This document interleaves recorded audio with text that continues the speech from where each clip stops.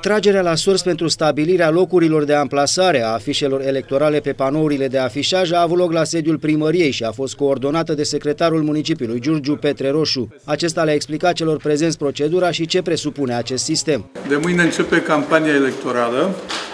Noi vom proceda, este o practică a noastră uh, de a proceda cu panourile de afișaj uh, cu locuri pentru fiecare formațiune, respectiv candidați independenți. Articolul 79 din legea 115 prevede că uh, ele pot fi utilizate în așa fel încât să nu uh, împiedice folosirea altor for formațiuni politice. Noi venim prin această procedură în întâmpinarea, în sprijinul competitorilor electorali, pentru a nu încălca legea.